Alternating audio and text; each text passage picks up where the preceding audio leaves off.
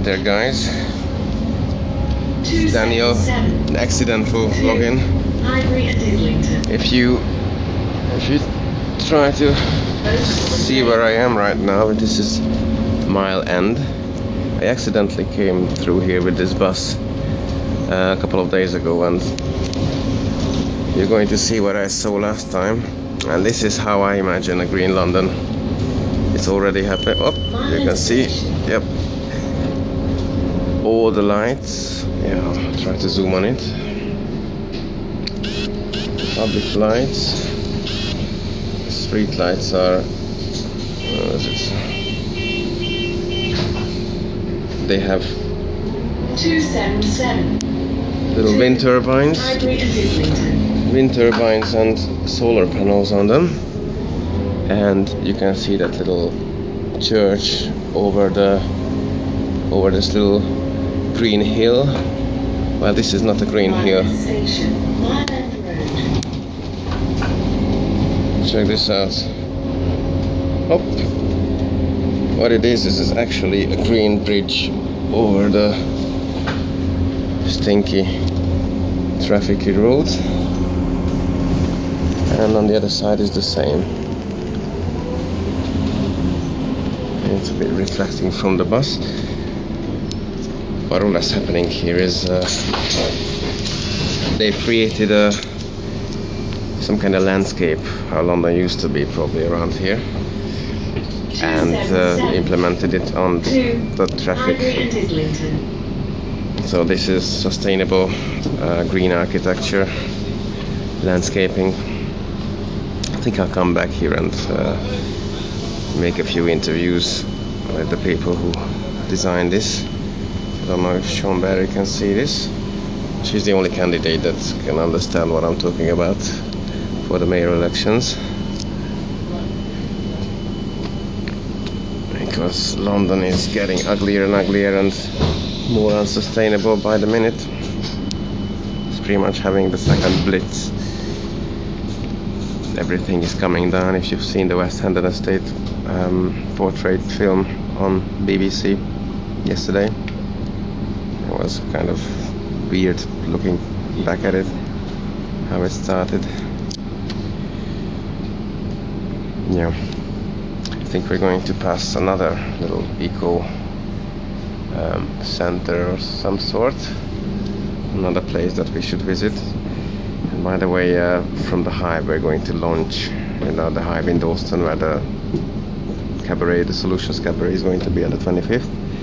Uh, we're going to launch a new internet-based TV station called Solution Zone TV. Uh, will give me the, the perfect excuse to go and um, interview these architects and people who've made these. I think if I come at them as as I am now as, as Occupy News Network, they would freak out. yeah. Yeah, I never done a live streaming on a bus before, but you know, there's a first time for everything. But I must come back here and and record this. You can still see the yeah, you can't see much of it, so uh, yeah, I have to take a few clean shots here once I'm back around here. But it's very impressive. It's it's a hill from both sides. You can see a hill with a with a little church on it, and the church is not on the hill, and it's not a hill. It, it's a it's a little flyover, uh, a green bridge above a very busy, disgusting London road with buses and lorries going through, and you can't really see any of it from from the right angles, from most angles actually, unless you're traveling on the in the middle of the road. Just a little seat before I forget to come back here.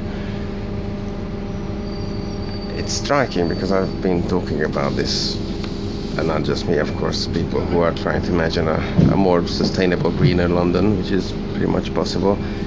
Uh, it's it's only been kind of theoretical, and, and this part of London, which is called Mile End, has gone there recently because I don't think this is this is an old development. I've been around here years ago, and never seen this. So apparently it's already kind of happening. So I think if we track down the people who made this, they could, with the right type of protest, we could uh, get this kind of stuff happening. Oh, there you go, community garden, growing food. So this looks like some kind of a transition town projects I've seen in other places in Europe. Not really in London, usually.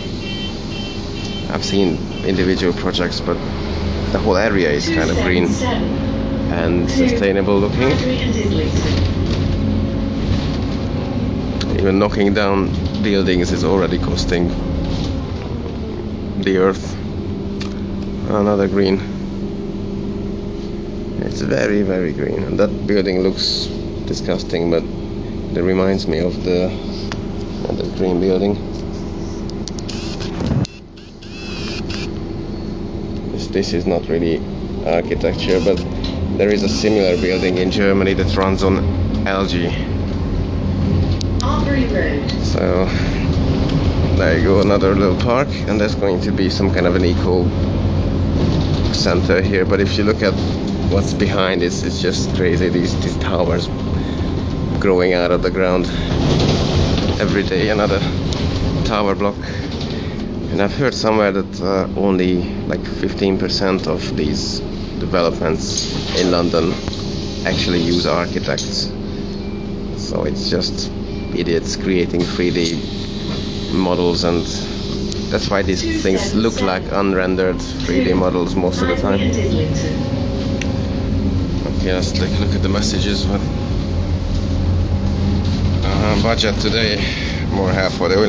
Yes, I've seen it. Oh, look at that. Oh, it says ecology, ecology pavilion.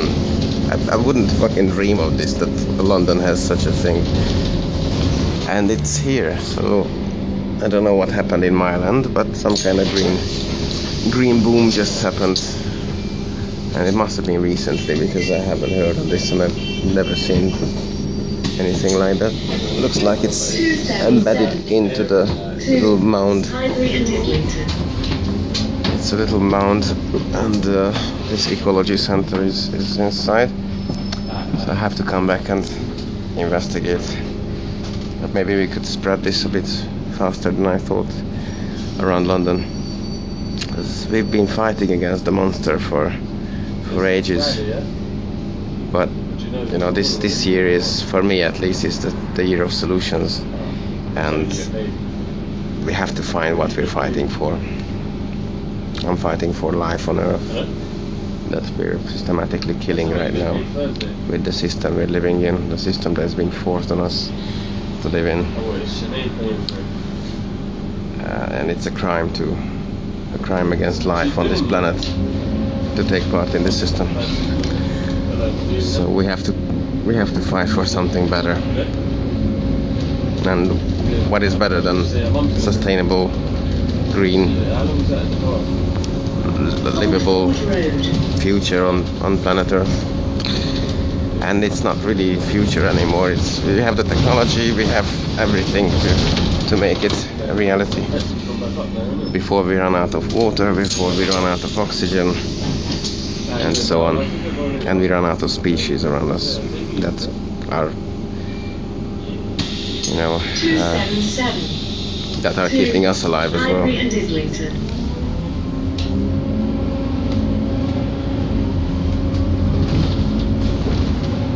Yeah. So it's it's pretty sad that everything is getting privatized, but think it's the end of countries anyway, one way or another. But we, we can't really let the corporate world privatize everything and, and create this horrible dystopian future that sci-fi writers of all ages warned us about. It's all happening. But if we do decentralize the power and, and create oops, oops, just a sec, a solar panels on the bus stop. So this is already reality, and this is England. So you know we know that they're against solar energy and renewables, and they're into fracking and stuff. But these are still solar panels on a bus stop. It's not. Yeah. So something is happening.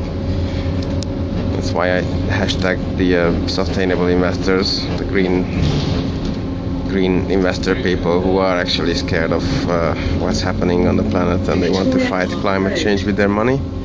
Well, this is the time to drop out the middleman, the politician, and have a, some kind of a contract between the people and and the investors. So, and as I was saying before, if we de- decentralize and create smaller communities that we can actually run ourselves locally, you know, think globally, act locally, then we should be all right. That's that would be transparent, direct, democratic, and or, or whatever. You know, you, you can run your community any any way you want if it's working and if it's not working it will be sorted out because it's it's pretty much uh, you know you, you can't avoid confrontation if, if you if you're running your community locally with the ops more solar panels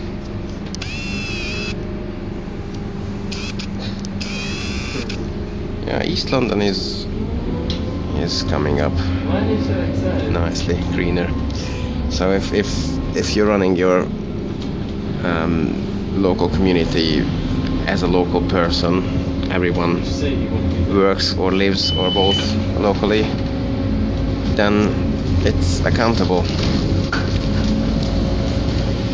You know, giving giving power and giving surrendering your uh, responsibilities to people you don't even know and also who don't know you is just absurd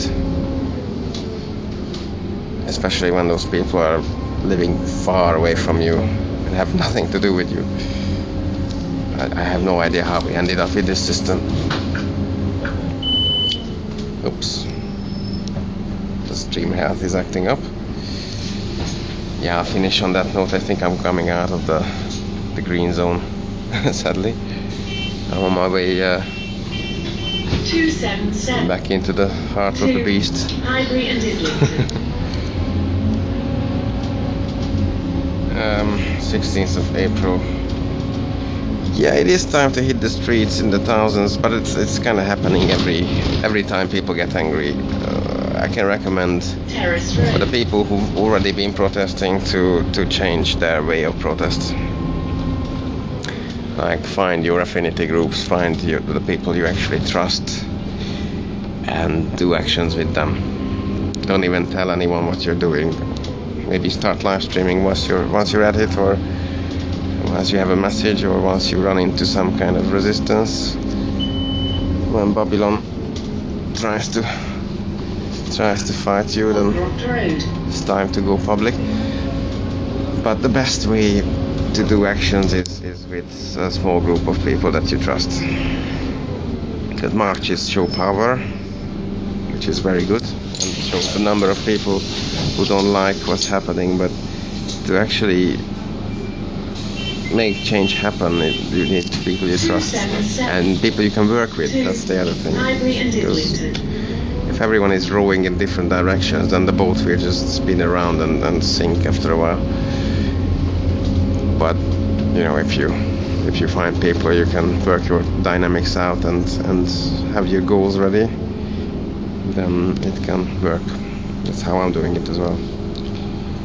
And um, if thousands and thousands and thousands and millions of people are taking action to create a better world now, then it will be an interesting future. I think this year will be the year of solutions, and next year we'll be working hard on those solutions. If we don't do that, then we're pretty much looking forward to a very horrible dystopian future, including extinction of most of the. Species of the planet, including our own. So, I I don't really want to do that. don't know about you, but uh, I would try. Even if we do go extinct, I would try to to live a, a fair, sustainable, livable world. Yeah. So I'm back in Bobby London. Already traffic jams on the way, and I'm losing the battery on the phone. So I think I'm going offline now. Ah, Cambridge. Yeah, I might go to Cambridge actually. I've never been to Cambridge to visit uh, friends and see what's going on. Oh, and by the way, uh, transport is key. Like for, for my work, absolutely. So anyone who knows how to, or anyone wants to work on, on some kind of a uh, transport solution for, for activism, preferably, or not just even preferably, but we need something that doesn't run on petrol, or something that we can turn into something that runs on alternative. Um, anything, that, anything but petrol. Uh, like the Poo bus, for example, between Bath and Bristol, that's running on human shit, uh, or you know, solar panels, or, or winds, or solar and winds, or even if we have to pedal it ourselves, almost like the Flintstones, it's good enough for me. But I, I never used anything that runs on petrol, and, and I don't want to start now. So anything as a van or a or a minibus, some kind of contraption that we can run on, on something alternative, then then uh, we can be mobile finally, and and that would help a lot to connect the little nodes in the network that's already set up since Occupy. Right, so. Okay, come to London and let's meet up, guys, and work something out. There needs to be a strategy. We just we can't just march march back and forth and, and shout. That's that's not gonna change anything. And remember, never protest the same way twice, because they will adapt like a Borg in Star Trek. okay, so that's that's me saying goodbye in the belly of the beast in London. So Daniel from Occupy News Network logging out. Ciao ciao.